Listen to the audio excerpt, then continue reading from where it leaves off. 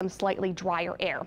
So let's talk about the tropics. We've got a couple disturbances out way in the Atlantic. Don't have to worry about those. Tropical storm Franklin is going to keep strengthening, probably to a major hurricane throughout the next couple of days once it kind of moves west of Bermuda throughout the middle part of the week. But it's the Gulf of Mexico we have all of our eyes on with Invest 93L. Right now, you're starting to notice some broad rotation, some broad circulation near the Yucatan Peninsula between the Yucatan Peninsula and Cuba. It's going to kind of drift off to the north and to the east.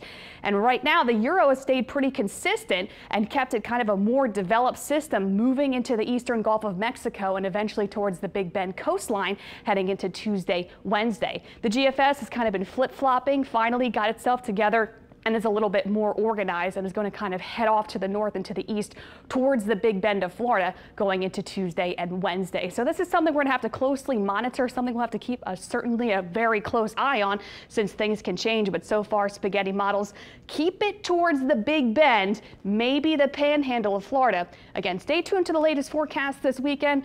We're going to keep close eye on that. But